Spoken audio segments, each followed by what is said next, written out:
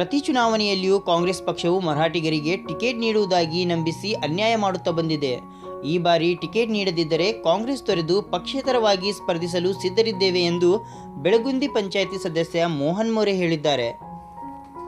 ಬೆಳಗಾವಿ ನಗರದಲ್ಲಿ ಹಮ್ಮಿಕೊಂಡ ಸುದ್ದಿಗೋಷ್ಠಿಯಲ್ಲಿ ಮಾತನಾಡಿದ ಅವರು, ಕಳೆದ ನಾಲ್ಕು ಲೋಕಸಭಾ ಚುನಾವಣೆಯಲ್ಲಿಯೂ ಕಾಂಗ್ರೆಸ್ ಪಕ್ಷ ಮರಾಠ ಅಭ್ಯರ್ಥಿಗೆ ಟಿಕೆಟ್ ಕೊಡುವುದಾಗಿ ಆಶ್ವಾಸನೆ ನೀಡುತ್ತಿದೆ, ವಿನಃ ಟಿಕೆಟ್ ನೀಡುತ್ತಿಲ್ಲ. ಈ ಬಾರಿಯೂ ಲಿಂಗಾಯತರಿಗೆ ಟಿಕೆಟ್ ನೀಡಿ ಮರಾಠಿಗರಿಗೆ ಅನ್ಯಾಯ ಮಾಡಿದೆ ಜಿಲ್ಲೆಯಾದ್ಯಂತ ನಾಲ್ಕು ಲಕ್ಷಕ್ಕಿಂತ ಹೆಚ್ಚು ಜನರಿದ್ದು ಕಾಂಗ್ರೆಸ್ ಪಕ್ಷವು ಟಿಕೆಟ್ ನೀಡದೆ ಹೋದರೆ ಏಪ್ರಿಲ್ ಒಂದರಂದು ಪಕ್ಷೇತರ ಅಭ್ಯರ್ಥಿಯಾಗಿ ಸ್ಪರ್ಧಿಸಲಿದ್ದೇನೆ ಎಂದರು आज प्रेस मीट इसीलिए बुलाया है कि आने वाले चुनाव में एमपी चुनाव में जो बेलगाम का वातावरण है थोड़ा अलग ही हो- वातावरण हो रहा है क्योंकि पहले ही बोले थे एमएलए इलेक्शन होते टाइम भी बोले थे और बाद में तीन पहले तीन महीने के पहले भी बोले थे कि मराठी कैंडिडेट इस साल देने वाले हैं कांग्रेस से। आज ऐसा नहीं हुआ वो कैंडिडेट दूसरे को दे रहे हैं।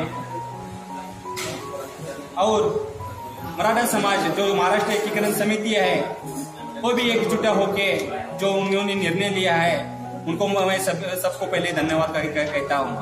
आज हमारा समाज समाज का सब दुरुपयोग हुआ है सिर्फ़ वोटिंग के लिए उनको यूज़ करने का बाद में एक आ, उनको फेंक देने का ऐसा ही हुआ है। जो पार्लियामेंट रहने दो विधानसभा में रहने दो मराठा समाज के लिए कौन सा भी नेता आज तक बात नहीं किया है। क्योंकि वो समाज के लिए भाषा के लिए नहीं तो आ, इतर कुछ काम के लिए वो कभी भी ऐसा ये नहीं हुआ है। मैं इतना ही बोलता हूँ कि वो भी समाज का सोचना चाहिए और जो कांग्रेस ने बोला है हाई कमांड रहने दो यहाँ के लोकल नेता रहने दो उन्हें सोचना चाहिए। वो हेल्प मांग सकते हैं लेकिन उनको उनके लिए भी कुछ करना चाहिए। उन्होंने एमपी इलेक्शन में मराठा कैंडिडेट देना चाहिए इतना ही बोल सकता हूँ मैं।